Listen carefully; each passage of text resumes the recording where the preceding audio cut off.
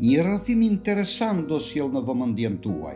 Është Vera Bekteshi, fizikantja shkrimtare, e bija e ish gjeneralit Sadik Bekteshi, një prej të rënëve nga froni, ish drejtori Institutit Studimeve Ushtarake. Domethënë flet ajo që e njihte aq mirë jetën brenda bllokut komunist të Tiranës, më vonë edhe jetën në qytetet e tjera të vendit tonë, sepse provoi internimin në fshatin Kutalli të Beratit, ku u degdis e gjithë familja pas dënimit të t'atit. Po jeni kureshtar dhe më dëgjoni disa çaste.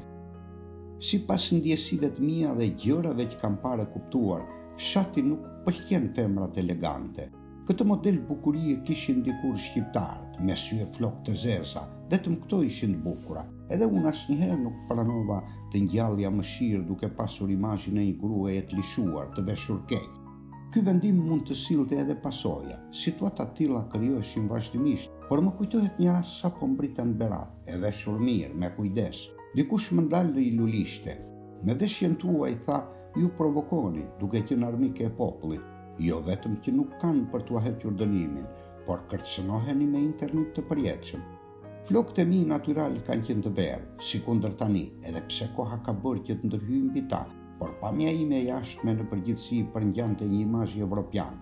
Përveç tipareve natyrale, edhe ndaj veshjes kam treguar gjithnjë kujdesin e duhur. Edhe im bir dallonte nga tjerët, sepse ishte i veshur mirë, për shkak të udhëtimeve të t'atit jashtë shtetit. Sa herë udhëtonte, Deri në kohën që ishim bashkë, jo më pas, i sillte rroba apo këpucë. Disa prej tyre që kishin qenë të mëdha, i shërbyen në vitet pasardhëse. Im bir e ka takuar t'atin pas njëzet e pesë vitesh, në një situatë fare rastësore. Kur ndodhi dënimi i tim eti, morën urdhër të gjitha nuset e dhëndurët të ndaheshin nga bashkëshortët përkatës. Në këtë kohë im shoq ishte në Amerikë, meqë ishte diplomat. Natyrisht që u urdhërua të kthehej menjëherë. dhe ka shkuar direkt nga aeroporti në mbledhje partie. U kthye prej andej rreth orës katër të mëngjesit. Nuk duhej shumë për të kuptuar qëndrimin e ftohtë dhe as arsyen pse.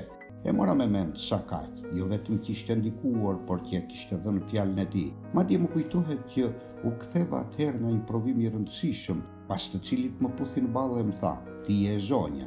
Nënkuptohej që nuk ishte vetëm për shkak të rezultatit të provimit, po pse do të isha e zonja të kaloja edhe atë çka më priste më pas. Kjo situatë tensioni, nga vendimi deri në ndarje, zgjati rreth një muaj. Unë nuk pata dhimbje pse u ndava nga ky burrë, sepse në fund të fundit as që e doja.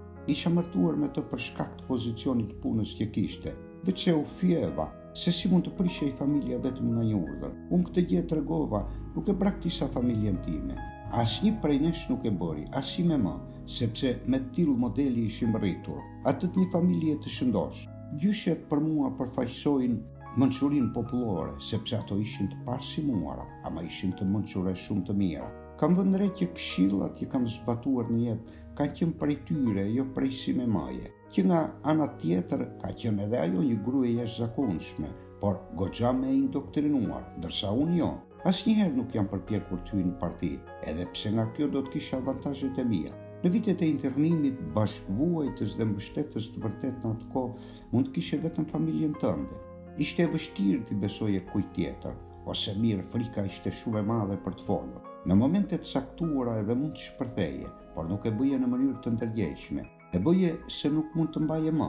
Më kujtohet xha Tofiku, me të cilin ndeshesha në kultivimin e duhanit. Arrija ndonjëherë të shpërtheja e të thosha gjëra, siç mund të jetë kjo ndonjë përgjigje për Stalinin, për të cilën mund të më burgosnin, por ai nuk më dekonspiroi.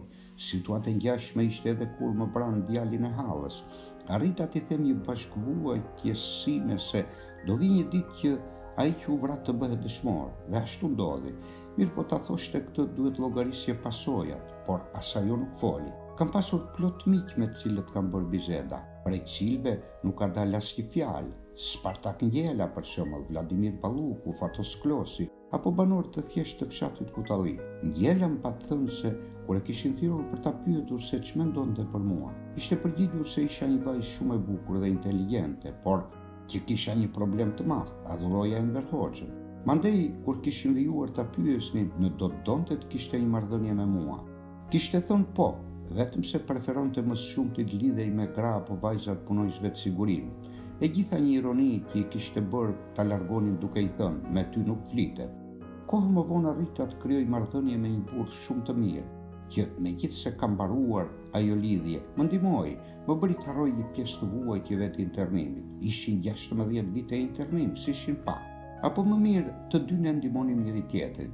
Vazhdojmë të jemi miq të mirë.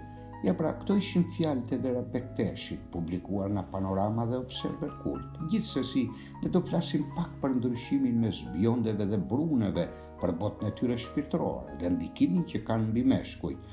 Mësojmë fakte shkencore interesante për flokëverdhat.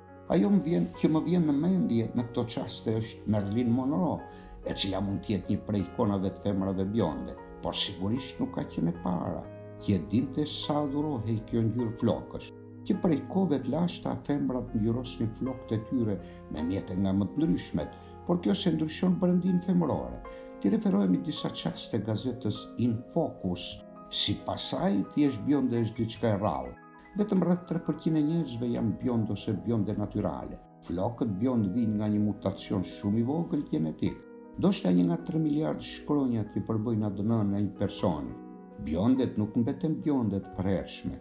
Shumë fëmijë të lindur me flokë ngjyrë çelët bëhen të errët para ditëlindjes së dhjetë, falë rritjes së nivelit të eumelaninës, pigment natyral që modifikon ngjyrën e flokëve. Kush ka flokë bjondë nuk ka Detyrimisht sy blu, megjithëse flokët e kuqe e sytë ngjyrë çelët sjellin lëkurë më të bardhë, biondet mund të kenë sy ngjyrë blu, jeshil, kafe apo edhe të tjera. Ngjyra e flokëve biond ka rreth tridhjetë nuanca të ndryshme, ndërsa burrat biond preferohen më shumë nga femrat bionde. Kjo duket se ka rrënjët te psikologjia, të dy prindërit duhet të jenë biondë që ngjyra të kalojë te fëmija, Bjondet bëjnë më shumë qejf, por kanë dhe më shumë flokë. Shumica e njerëzve kanë rreth qind e njëzet mijë qime në kokë, por flokët ngjyrëçelët janë më shumë.